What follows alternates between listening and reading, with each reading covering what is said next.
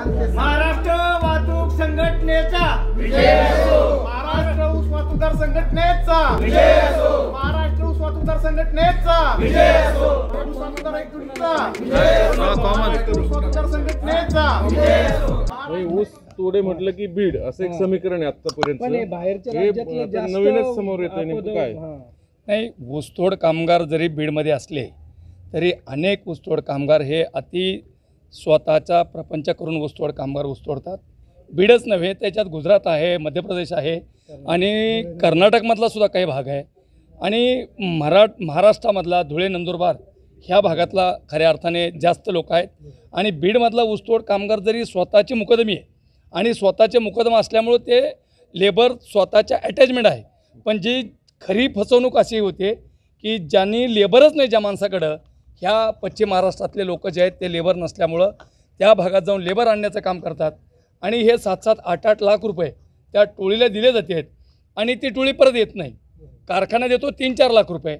यांना चार पाच लाख रुपये वरतून टाकावं लागतात. आणि खऱ्या अर्थाने हा जर तसं बघितलं तर मोठ्या प्रमाणामध्ये हा जो कॉन्ट्रॅक्टर आहे सप्लायर ऊसतोड काम म्हणजे सप्लायर आहे वाहतूकदार. आहेत. हे मोठ्या अडचणीत आहेत.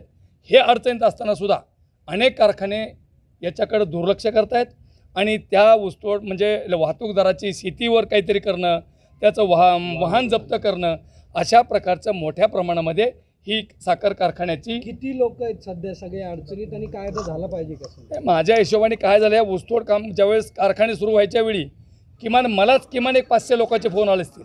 की ही टोळी पळून गेली ते लोक गेले याला चाळीस लाख दिले याला पन्नास लाख दिले. हे सगळे ह्या म्हणजे वाहतूकदाराचा प्रश्न आहे हा.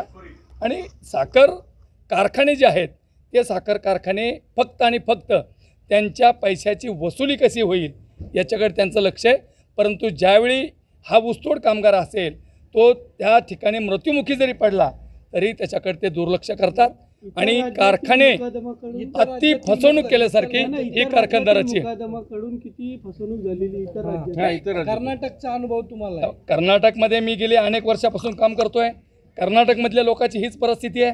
गुजरातमधला काही भाग असा जो आहे की शंभर टक्केच फसवतो आणि एम पीमध्ये कमी म्हणजे थोडंसं लेबर कमी पैशामध्ये मिळतं म्हणून ह्या परिसरातला भाग जाऊन तिथं ते लेबर आणण्याचं काम करतो.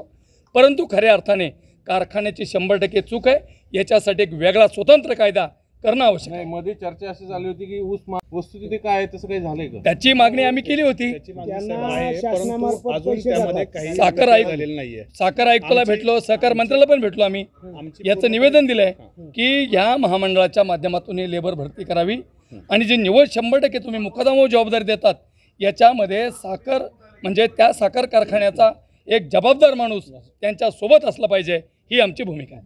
मध्य प्रदेशमध्ये जी हत्या झाली निर्गुण माझ्या वडिलांची त्या आरोपींना शिक्षा झाली पाहिजे आणि सरकारने थोडं लक्ष द्यायला पाहिजे.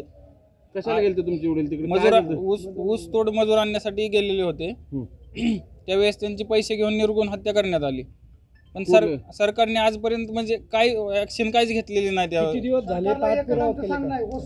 शेनवामध्ये गेले असताना शेनवामध्ये गेले असताना तिथे निर्घुणपणे पूर्ण टोळी जी होती त्या लोकांनी पैसे घेऊन त्यांना जी टांबी असती ते टांबीने जीव मा जिवे मारून गाडीतून चालत्या गाडीतून फेकून दिलं.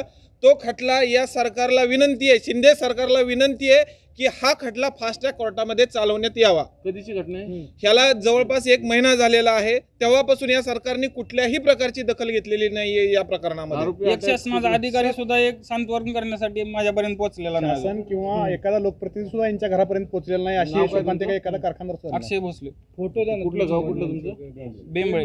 ठीक सोलापूर जिल्हा.